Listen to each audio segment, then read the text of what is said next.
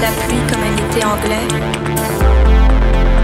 entend les notes d'une chanson lointaine, sortant de derrière un poster, espérant que la vie ne fût aussi longue.